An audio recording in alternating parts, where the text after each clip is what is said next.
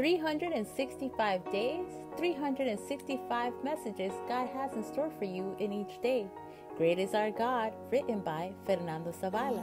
Come, join us. Let's see what God has in store for you today. Hi there. Thank you for joining us today, January 11, 2022. The title of today's devotional is What's More Difficult? Let us have a word of prayer. Our Heavenly Father, thank you for this day. Thank you for the opportunity to have this time with you and to continue to learn more about you and your love.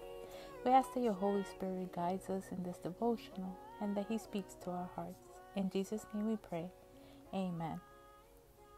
Our scripture reading is found in James 4 6, and it says, God resists the proud, but gives grace to the humble. What's more difficult, the conversion of people who know they are wicked or that of those who think they are good? This is one of those questions that can be answered with another question Who was forgiven between the two men who went to the temple to pray?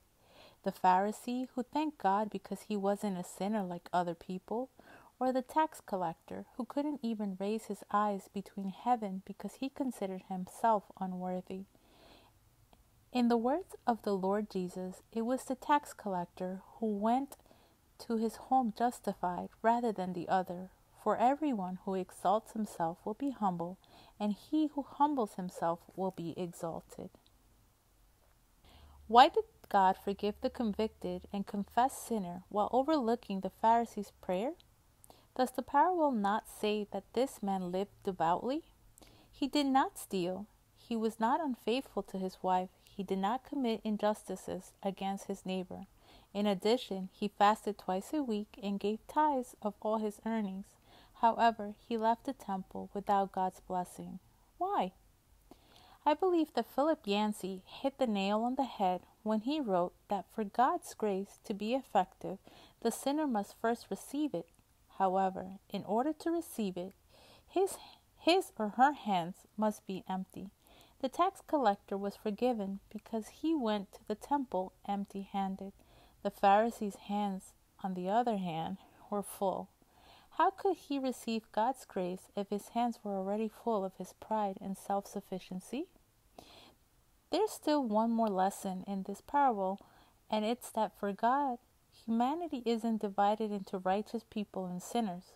There are only sinners, sinners who like the tax collector, recognize their condition and ask for mercy, and those who, like the Pharisee, believe themselves to be righteous and therefore consider that they don't need to repent. How are your hands as you present yourself to God?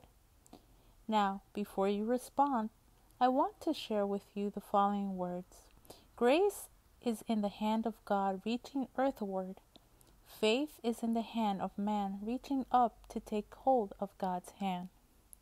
In order to take hold of God's hand, shouldn't our hands be open and also empty? Do we understand now why the tax collector was forgiven and why the Pharisee was not? Let us close with a prayer. Dear Lord, we stand before you with open hands Please cleanse them of all pride and fill them with your forgiveness and your love. In Jesus' name we pray. Amen. We're so happy that you were able to join us today for this devotional reading. We hope that you'll be back tomorrow. May God bless you, may God's love embrace you, and may His presence be with you throughout this day.